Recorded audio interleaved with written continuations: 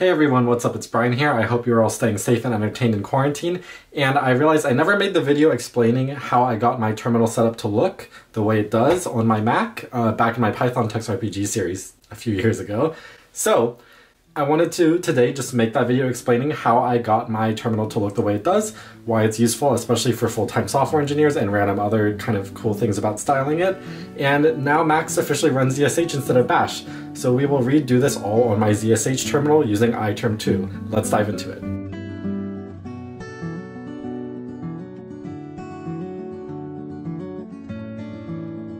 Alright, so now that I have my computer in front of me, uh, we can go ahead and get started on the prerequisites for making your terminal pretty. Note that this is a Mac specific tutorial. There's ways to do this in Windows. If you have ZSH on Windows, you can do everything beyond this first step. But this first step will be for Mac. And what we want to do is, rather than using this default terminal as we have here, uh, the one that comes installed on all MacBooks or any macOS device, we want to go ahead and download iTerm 2, which is a free, fully featured terminal. You can see here in the dock I have terminal and a very similar looking icon iTerm. Uh, iTerm is what we're looking for. It's super easy to find. Uh, you just go Google iTerm2, click on this first link for iTerm2, um, iTerm2.com, and then you can download this terminal. It's a little less lightweight and a little more battery intensive than the default Mac terminal, but this, if this is going to be your daily driver, you want to be using this type of terminal. Alright, so once you have that terminal installed, what you want to do is you want to compare first. This is an example of how your basic bash terminal will look like. Um, there's nothing to it. You type ls, it doesn't have any you know fancy completion, it's just a normal terminal. And on the bottom here, I have my fancy iTerm2 terminal running ZSH and a bunch of mods.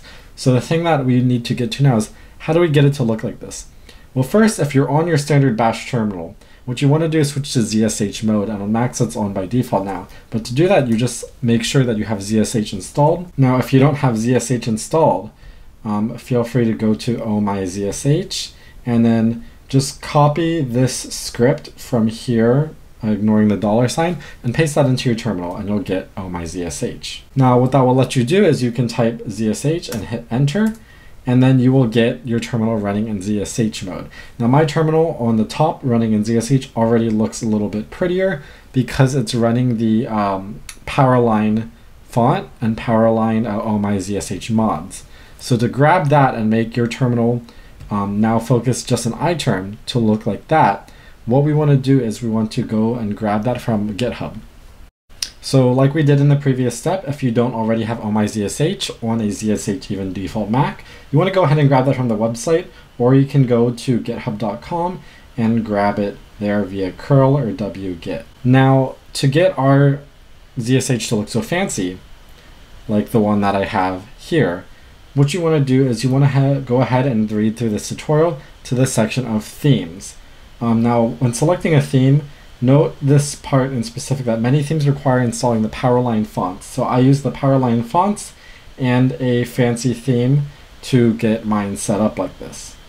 So let's first download Powerline fonts since that's a prerequisite for fancy themes. You can go ahead and if you are running a um, Mac or whatever, you can just go ahead and grab it through the commands there. Run sudo apt-get. If you don't have sudo apt-get, you can install that. You can do homebrew. Um, you can do any other method of downloading it. As long as you just somehow get these fonts into your system, you can even just manually download the folder from GitHub and install it, um, you know, font by font. And then once we have that, we'll go here and look at our themes.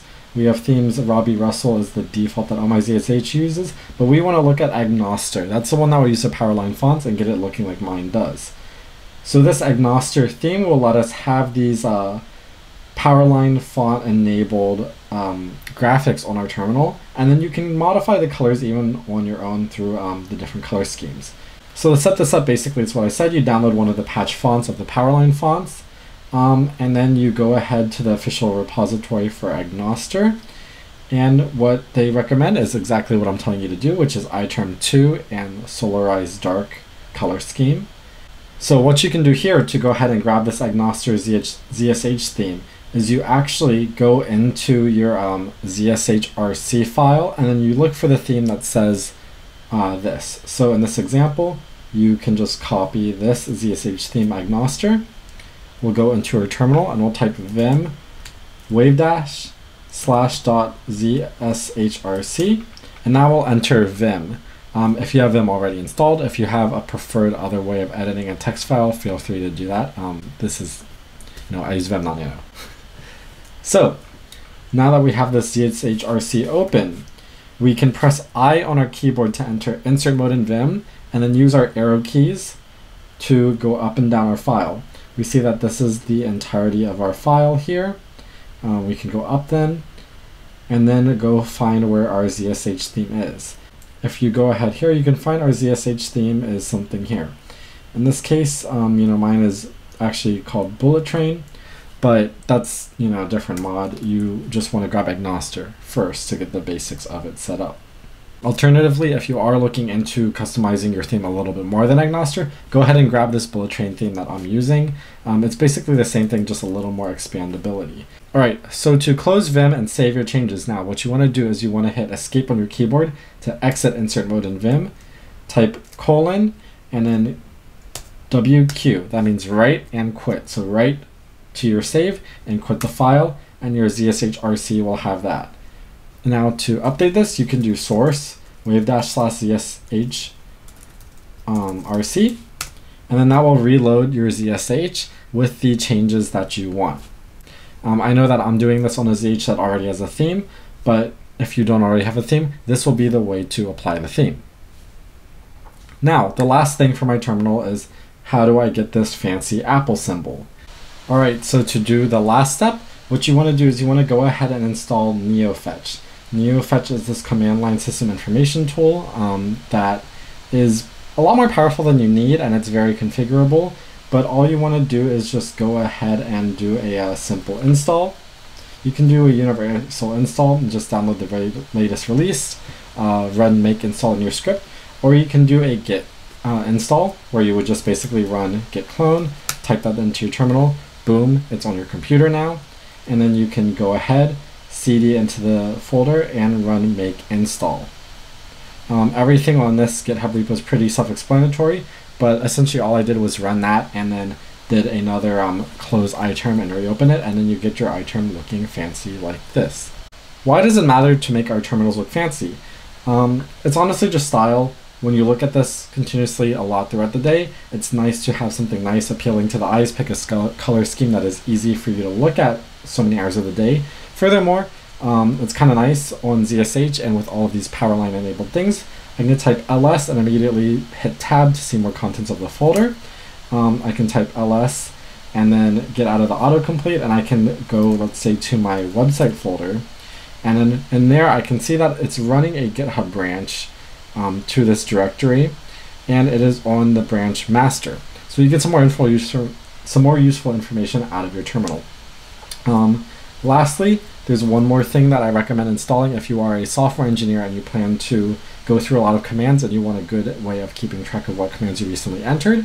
Um, this is fuzzy search. So I press Control R and I can go through and see what commands I have recently run. And then I can just go up to one that I want to reuse and then hit enter and then boom, it's now saved and ready to use. Um, so to grab FZF, this is the last thing I'm going to recommend you always install. Just go to GitHub here and again, follow the instructions. It's very simple. Just, you know, using Homebrew. Uh, if you don't have Homebrew installed, go grab that too. Um, you just grab it from brew.sh and copy the script and paste it into terminal. Notice the trend, everything is pretty simple, guys. So, just brew install FZF, you know, I recommend that you install the optional key bindings too. It's very useful. And then once you have that, um, just go ahead and follow the instructions. If that doesn't work, FZF has different um, troubleshooting and layout and examples and things that you can modify, but that's all unnecessary to me. All I did was do the homebrew installation, ran that, hit yes to the three things that it asked what I like to do, restarted my terminal, and it's worked like a charm. All right, so there you have it. It's super sweet, easy, and very few mods you actually have to do to get your terminal working and looking as pretty as this one. Thanks for watching, guys. Stay tuned. See you next time.